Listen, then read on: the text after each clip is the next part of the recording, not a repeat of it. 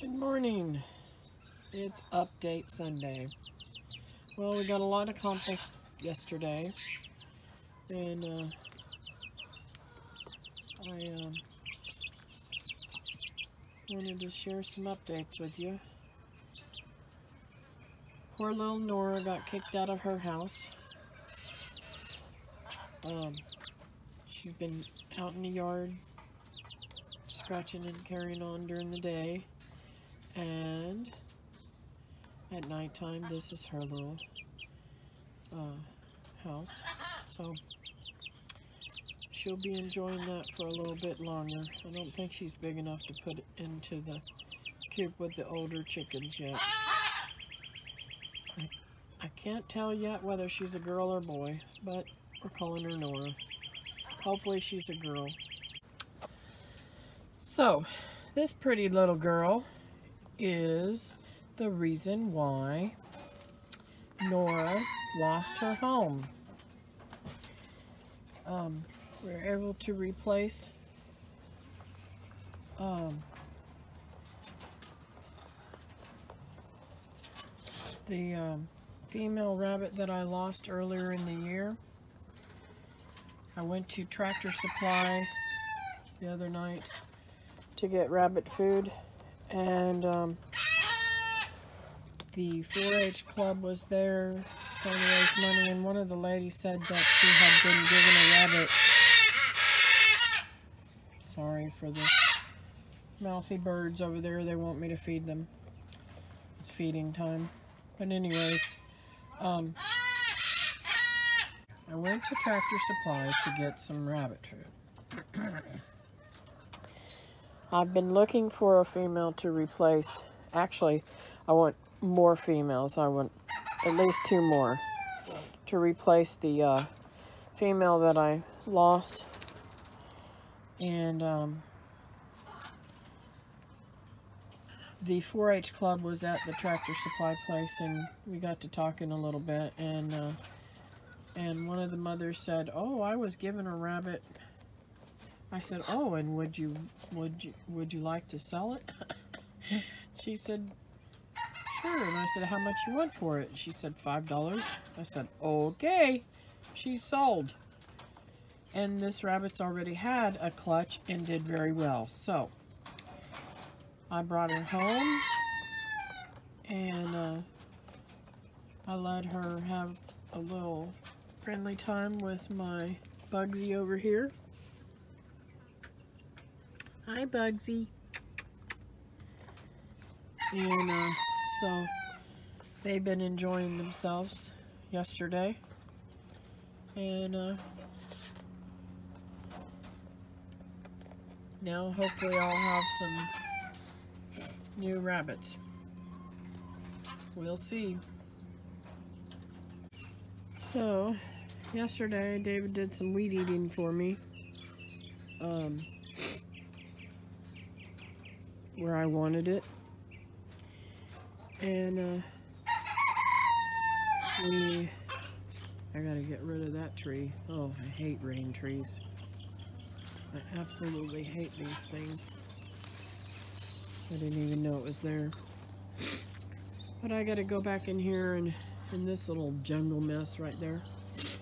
And I've got that beautiful uh, cherry and in the midst of that, I've got a rose bush too, and I've got to cut it back. It's grown wild. It's not it doesn't have any flowers on it anymore. I think that it, it died back um, when I was sick and uh, came back from the root. But we shall see. I've got to get it all cut back. That that's what happens when you get sick on the homestead. So, um, got some more and I've got to get in closer here. I didn't want him to get too close to the trees. And got another Suriname cherry that's pretty big back there. I want to make a hedge of them back on the fence there so that it gives me some privacy. And uh, I um,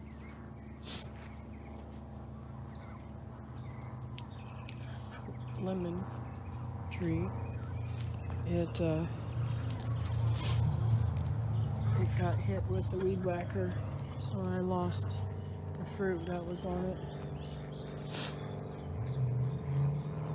Anyways, one of these days, get fruit again. Oh, looky here. I've got a couple of fruit. Beautiful, beautiful. I didn't see those guys. So it's cool that he was able to uh, um, weed whack for me. Gives me a better chance to see things. One of these days I'll be able to get all these wild blackberries out of here, but takes time. This is the new plant that he bought me. And I, uh,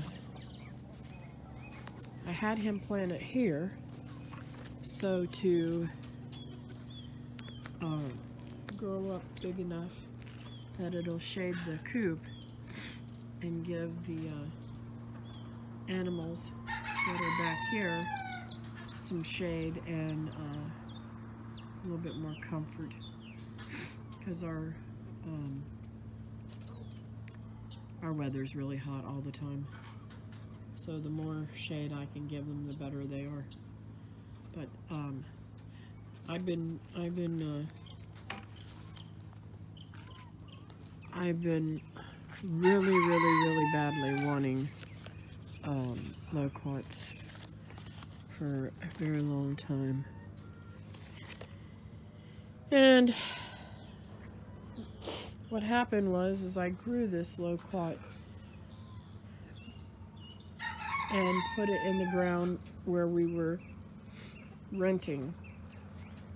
And it had been established for about a year and a half I guess. And so that would have probably been in like 95 or 96 and when we got the house built here we um, moved it to the house. And it was um, beautiful absolutely beautiful tree. It looked like a you had just set, set an umbrella that was a huge umbrella in um, it was about the size of a beach umbrella um, or maybe a little bit bigger. And um, we put it in the front yard where the mango tree is well it died from shock. I mean we dug out way far beyond the roots could have ever been and we we uh, really took great care to try to get that to grow here but it didn't and you know that's what happens sometimes. So that uh, that little transfer didn't work right but um, throughout the years you know my parents have had loquats and yes they were inferior to the one that I had um, and every time I would dig one up and bring it home, it would it would last for a month or so and then it would die. And I'm like, I'm over this. So I had almost given up. And David decided that he was going to get me the tree that I really, really wanted. And while he was getting, he got me another tree that I really, really wanted. This is a sugar apple. Get off there, fly. And it is absolutely beautiful too. I can't wait to get it in the ground. But I'm gonna put it over here where the uh, where the um, the quail cages is. I'm gonna move this quail cage back there and give them space and I want to uh, when I when I do that I'm gonna hopefully get that whole fence back there uh, taken down and a new fence put up And then I want the cages all back there, the rabbits, the quail, and then the chickens. And that pin over there I'm going to use for a grow out. So I'm going to fence off all of this through there so that when, and then I'm going to top it so that uh, that stinking hawk that comes around here will not be able to um, get my babies. I'm, I don't know if I'm going to put uh, um, bird netting or something.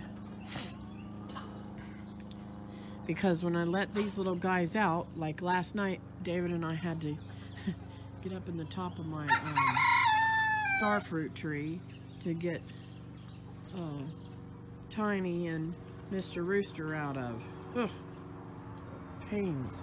Those two are, are um, used to being free range wherever they want and they decided that they wasn't going in the house they were roosting in the tree so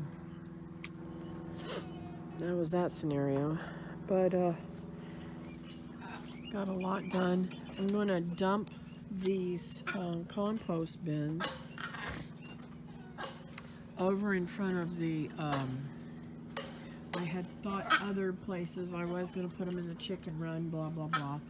But I've decided that the ground is really low in a spot over there where that tractor supply um, mulches bedding um, it's really low over there. So I'm going to dump those and let them and and uh, let them finish filling in the ground there where it's low uh, because it gets really wet there and, and uh, I have fallen over there several times.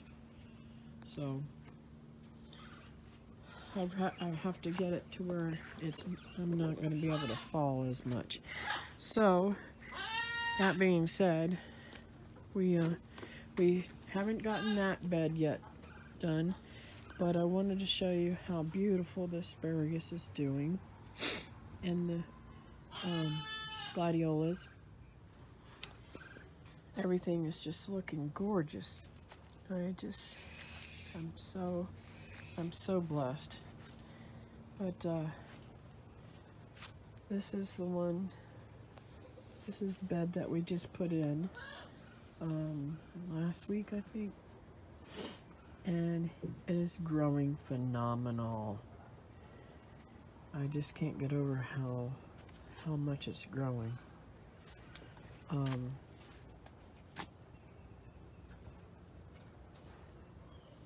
there's cucumbers in there, and there's um, radishes, and bush beans, and dill and yellow uh, pear tomatoes and uh, coleus and geraniums. And one of the geraniums is fixing to bloom which I'm excited about to see what kind it is. See I buy the plants that are almost dead for 50 cent. And uh, I like to get them grown again. And these, um, I have to weed in here too. These uh, asparaguses are doing really well. We've got some more new sprouts there.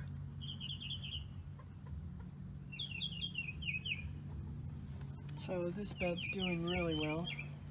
So let me take you over to the garden. Alrighty, so, this is the jungle. I mean, it is growing like, even overnight, I think it's grown like these, these, uh, potatoes have grown at least an inch or so overnight. so, um, over here, my fig tree is doing pretty good. This first one. These other two back here are not doing anything. I don't know They don't appear to be dead, but they're not doing anything either. So, I'm gonna go and talk to somebody about that. This um, radish that I wanted the seeds from, it's finally putting off some blooms. So I'll be able to get some seeds from it. I planted some more radishes down in there and they're they're uh, coming close to being ready too. Pulled some uh, more carrots out. They're getting bigger and look great. Um, the other day for dinner at my mom's, I made coleslaw and uh, I like carrots in my coleslaw. Not everybody does, but I do. And these beets are finally starting to do a little bit, I think. I don't know. They're weird. I really love beets, and I really want to grow beets, but they don't seem to do much for me. Um, and this is another uh, radish that I wanted the seeds from. Oh, it was so good too.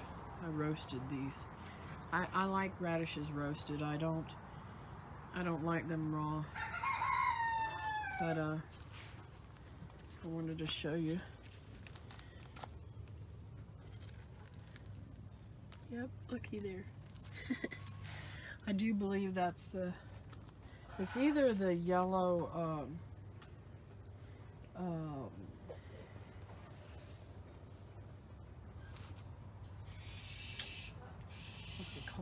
Lemon squash or um, yellow acorn squash. And it doesn't really look like acorn to me, so it's probably the lemon squash.